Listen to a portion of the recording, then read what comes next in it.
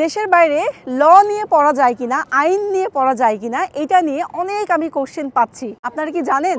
বাংলাদেশে অনেক বড় বড় আইনজীবী রয়েছে যারা কিনা ব্রিটেন থেকে ডিগ্রি নিয়ে গিয়ে এখন কিন্তু অনেক বড় পজিশনে তারা কাজ করছে। তো আপনাদেরকে বলে রাখি, আপনারা চাইলে ব্রিটেন থেকে মানে ইংল্যান্ড থেকে আপনারা চাইলে ল নিয়ে পড়াশোনা করতে পারবেন। ছোটবেলা থেকে হচ্ছে আমাদেরকে অনেকে প্রশ্ন করে যে তুমি বড় হয়ে কি হবা? কেউ বলে ডাক্তার, কেউ বলে ইঞ্জিনিয়ার, কেউ বলে যে আমি আইনজীবী হব। তো তার মধ্যে একটা ইচ্ছা, কারণ আমি যখন এই কমেন্টগুলো পাচ্ছি, অনেকে বলছে, আপু, ল নিয়ে পড়ব। ওয়া বিকজ আমি তো ইঞ্জিনিয়ারিং পড়াশোনা করেছি, কেউ ডাক্তারি পড়াশোনা করে, যদি আমার ডাক্তারি পড়ার ইচ্ছা ছিল। তো যাই হোক আর কি, তো আমার কাছে ভালো লাগতেছে যে না ইনফরমেশনগুলো দেওয়া উচিত আমাদের বাংলাদেশের ইয়াং জেনারেশন ছেলে মেয়েদেরকে তারা এই সুযোগ থেকে কেন বঞ্চিত হবে? ইংল্যান্ডে আইন নিয়ে পড়া এটা একটা বেস্ট একটা সুযোগ আমি বলব।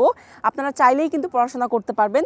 এটার জন্য কি কি রিকোয়ারমেন্ট লাগবে? আমি হচ্ছে বলে দিব আপনাদেরকে। আমার হচ্ছে background computer science and engineering করা এবং মাস্টার্স করা এখান থেকে হচ্ছে গ্লোবাল মাস্টার্স বিজনেস অ্যান্ড ম্যানেজমেন্টের উপরে। তো আমি কিন্তু ল ব্যাকগ্রাউন্ডের না, যদিও। তো অনেকে আমাকে যেহেতু জানতে চাচ্ছেন, আমাকে এটা নিয়ে রিসার্চ করতে হবে, এটা নিয়ে পড়াশোনা করে দেন আমি আপনাদেরকে ইনফরমেশনগুলো দিতে পারব। আপনারা যদি চান, আমি ডেফিনেটলি এটা রিসার্চ করে দেন ভিডিও দেওয়ার চেষ্টা করব।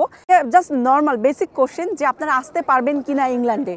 আমি বলব ডেফিনেটলি ল নিয়ে আপনারা পড়তে আসতে পারবেন। আমার জানা মতে one of the best country হচ্ছে লয়ের জন্য, আইন পড়ার জন্য ইউকে হচ্ছে বেস্ট ইংল্যান্ড হচ্ছে বেস্ট যারা যারা ল নিয়ে পড়তে চাচ্ছেন, অবশ্যই ট্রাই করতে পারেন ইংল্যান্ডে প্রথমে।